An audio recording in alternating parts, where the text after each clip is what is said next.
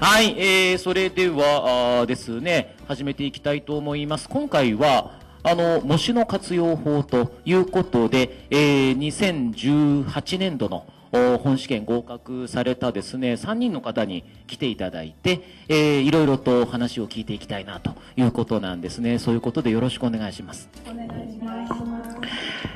はい。えー、で、今回、まあまあ、模擬試験のお活用法というのでね、まああ、昨年受けた時の話なんで、ちょっと時間が経ってますけど、少し思い出していただいてですね、えー、それで、まあ、順番にいろいろとちょっと話を聞いていきたいと思うんですけれど、あの、模擬試験で、どんな感じの点数だったかなっていうところも含めて、まあ、あと、実際にあの、受験回数とか、合格するにあたってどんな講座を受けたかとか、簡単なあの自己紹介も含めてですね、まあまあ、順番にちょっとね、えー聞いていってみましょうかね。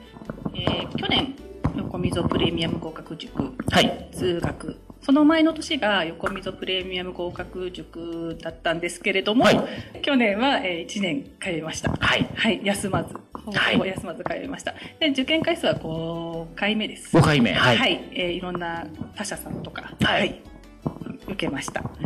で、えーっと、模試ですよね。そうですね、模試の得点ですね。は、到達度がそ、到達度がそんなに模試っていう感じじゃないんですけど、まあまあ、あのじゃあ、あれにしようか、公開模試とか、その辺に、はい、そうですね、9到達月以降の。はい。到達度は、まあまあ良かったんですよ。到達度は良かったのね。到達度は、はい、うん100、そうですね、196とかでしたね。おお、はい196点とかを。190点台とかうん200とかだったと思うんですけども、で、えーで、ちょっとそこで調子に乗りまして、えー模試、公開模試、はいはい、公開模試。の公開模試、うん1回目でうん168をやってしまいまして、るほど。記述を入れて、168をやってしまいました。で、えー最後、ファイナル模試ですね。えー全体、全部で9回受けたんですけれども、はいはいはい。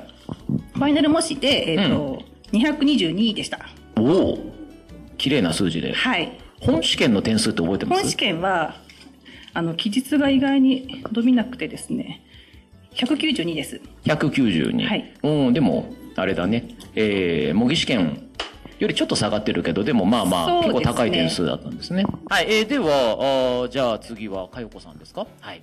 と私は今年初めて受けました。はい。横溝合格塾から始まって、はいはいはい。であとちょっと一つ上の講座も、あの、夏ぐらいからうん参加させていただいて、あとは道場など、ある程度一通り受けました。で、模試は、最初じゃあ、例えばもう、もう到達度なんかも含めてね、あの、初めて受けた模擬試験、まあ、一応60問3時間の模試で、の点数って覚えてます？えっ、と、到達度確認模試が最初うんうでん140点ぐらいです。うーん。記述入れてってことですよね。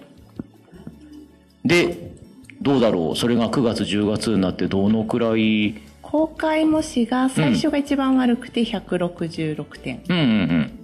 で、で、あと最後はもう220とか。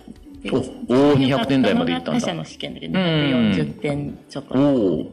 本試験は何点ぐらいでした？228点。おお。そうね、本試験がじゃあ一番でも良かったような、まあまあ、あーかなり高い点数だったんですね。そっか、わかりました。では、えっ、と、正江さんですね。はい。私は横溝プレミアムの、はいえっ、と、通学を取らせていただいたんですけど、まあ、実際は通信で受けてるっていう感じで、まあ、ペースメーカーでやっていました。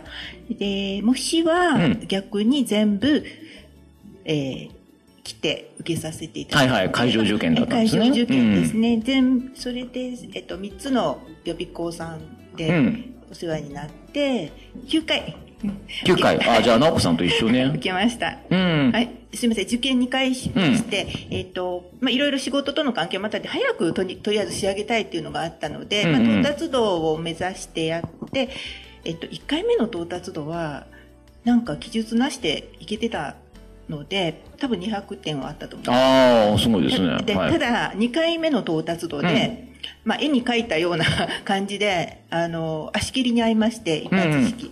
いろいろ記述も論点違ってたりとかで、うんあの、それを2回目に経験しました。うん。そう、直前期はどうでした？直前は、あの、その後っていうのは、ずっと本番を意識しながらうんやっていて、もちろん記述を除いての、あれ、180を目指ししながら受けてきて、で、直前期も、やっぱりなかなかそれいかいかなかったですね。170何歩とか、そんな感じでいって、ある程度点数は戻りまして、どの教科もあある程度、コツコツとやってか、やってたかなと。まあ、とにかく淡々と行こうと思って、で、それでもやっぱり本番っていうところで、えっ、と、ちょっといろいろ失敗をしたっていう感じでした。本番は何点ぐらいでした？で本番最終的には204点だったかな。そうなんだ。じゃあ模擬試験で意外とこう点数がちょっとこう苦労した部分もなくはなかったって感じですかね。けど、ん模擬の方がやっぱ良かった。うん。3人ともちょっと受験回数もバラバラだし、だからやっぱりあれなんですね、初めての受験だった佳代子さんのところがスタートラインからだんだんだんだんこう上がっていくっていうようなパターンだったのかな。だから複数受験回数のある人の方が最初結構いいけど、ちょっと途中で落ちてまた上がったりとか、なんかこういう少しアップダウンが出てきやすいところはあるのかもしれないですね。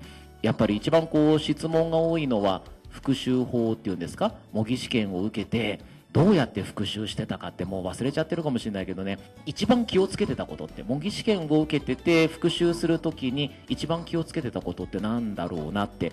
これはあの受験回数順にちょっとなのでえっ、と佳代子さんからいきましょうか。うん。一番気をつけてこういうことを復習の時には心がけてたみたい模試を受けている時に、なうん。わからない選択肢とかが出てくると三角をつけておいて、うん。最終的にそこが間違いあの合ってたとしてもあの自分が曖昧な箇所なので必ずあの不明点をなくすあの解解決するようにしました、うんうんうんうんなるほどね。そういう感じでやってたんですね、そうかじゃあ今みたいな感じでちょっとあの簡単に最初にこう復習の時の注意をしてたことっていうのをじゃあ2回目2人目は2回目なんで正江さんの方にちょっと行って。え私も同じで、ん。えっと後でふ復習する問題をもうやってる時に決めてた。うん。決まってました。であとはまあ間違えた問題っていうのはやってました。そんな感じなるほどね。やっぱ受けてる時から準備するっていうのは結構大事なんですね。あのじゃあ直子さんはどうでしょ私はそうですね。あのどこなんで間違えたのかっていうのをすごくあの読み間違えてるのかとうか、ん間違えたところをだとか読み飛ばしてしまっていたとかっていうところをなんで間違えてしまったのかっていうのを、すごく気にしてました。そこをなんかこう記録を取ったりとかなんかしてたんですか？はい。こう5回受けてきてるじゃない。ね。あの、まあ、今回はそういうふうにしてた。それって4回目までとかのところとのなんか違いってあります？前はもう復習はとりあえず解説見てれば復習になってると思ってああ、はいはいはい。うん復習した気になってたんですよね。でなんかあ分かったっていう先生の,、うんうんうんまあ、あの解説聞いてると分かるじゃないですか。あ、間違えちゃったなっていうのがあるんですけれどもそれよりもまず自分でちゃんと探すというここに本当はあの見なきゃいけないところを見ようとしてたんだとか。のなるほどねを自分で探すようにしました。そこがやっぱちょっと違うんですね。あの、同じことは、そうね、ちょっと一人飛んで、正江さんも2回目でしょ？だから、なんかその、最初の受験の時と、今回とで、やっぱその模試の復習をするときに、変わったところとか、あります？逆に1回目の時の反省点とかって何かあります？だらだらやっぱりやってたのが1回目だと思うんです、うん。復習自体を。で2回目はなるべく短い時間でやりうん。たかったので、知ってるけど間違える間違えてたの場合とここが×よというところで、うん。あのそこにつけられなかった、まあ、知らなかったっていうとかなんかそういうのと勘違いとかあと場合によってはその問題の足読み読むのを途中でやめちゃって、答え出しちゃったから間違ったケースとかやっぱり、えっとなんでこれ間違えたのかっていうことだけはめまあ、メメモをするようにして間違った論点のところは一応自分でリストアップをしてそこってまだ要は水が入ってないというかこう足りてない部分なんだっていうところで、まあ、そういうところを模試としてはもうそこで終わりなんですけど後の復習とかに生かしてくるようにはします。なるほどね。やっぱあれなんですね。なんで間違えたかっていうのをチェックするとやっぱ大事なんだね。復習の時にね。ただ、あここがこおこういう知識だったんだって確認するだけよりは自分がなんでできなかったんだろうみたいなのをチェックするってこれはまあまああの佳代子さんはね初めてなんでねあんまりあれなんですけどやっぱりなんかちょっとこう最初にやった時とのうんやっぱ反省点とかっていうのでこう工夫していくっていうのはやっぱあるんでしょうね今ちょうどあの正代さんが時間の話をしてたので1回模試受けて復習にかけた時間っていうのはうんとじゃあ佳代子さんね。どのくらいでした、まあ、ちょ特に直前の9月、10月ぐらいの模擬試験のことを思い出してもらって1回の模擬試験で復習にかける時間ってどのくらいかけてました？ちょっとトータルの時間はわからないんですけど、うんうん先生が復習っていつもおっしゃってたので、はいはい。あの、毎、その、よ模試の復習だけをする日というのは作らずに、ん今日は民法の日って決めたらその中で民法の復習をする、はいはいはい。ついでに復習をして、模試の後1週間以内に一応すべて復習し終わる感じにしました。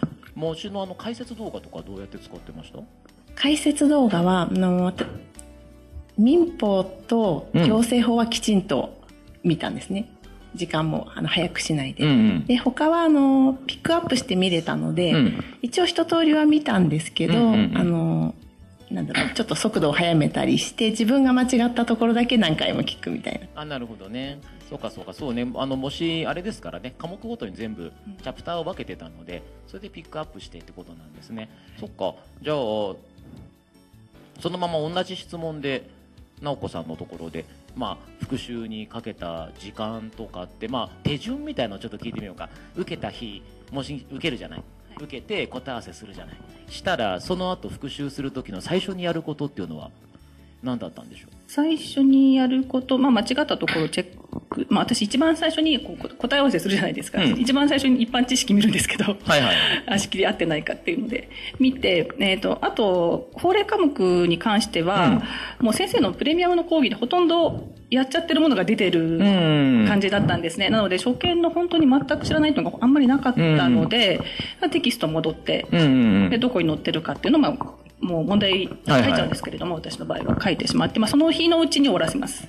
なるほど。あの、夜受けると難しいんで、次の日うん。はいはいはい。の一番最初の勉強で終わらせてしまって、でも、切り替えて、普通の勉強に戻ります。なんで、2時間ぐらい。あーあそのぐらいなんだ。そのぐらいですかなるほどね。3時間、さでも3時間ぐらいですかね。うん。そこに動画、あの解説動画とかも一緒に入れる。動画はあの一般知識と、うん。えー一般知識はぜ全部聞きました。うんで、先生の一般知識すごくね、あの、ね、すごい浮かんだので、はい。ね、それは全部聞いて、あと、ちょっと全く知らない判例とか、うん。出てきたところは、その、分かれて、はいはい。先去年からですか？分かれたので、はい。そこだけちょっと拾って、見たりとなるほどね。かっていう感じですね。なので、すごく時間の短縮にもなりました。うん。はい。あんまり時間かけずにって感じですね。はい。その辺はじゃあ正江さんどうでしょう基本的にはその日のうちに復習して、うん。あとあの成績出た段階で自分間違えてた問題なんだけど正答率が高いはいはいはいはい。やつ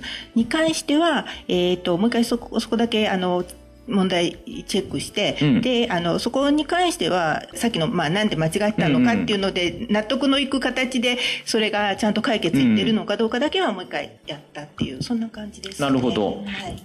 じゃああんまり時間はかけずにあとはまあ最初にね佳代子さんが言ってたけどその不可習ってやつですか？普段の勉強の中でその模擬試験の内容なんかもうまくこう取り入れて勉強していくっていうような感じの、まあ、学習法が中心だったという感じなんですかね。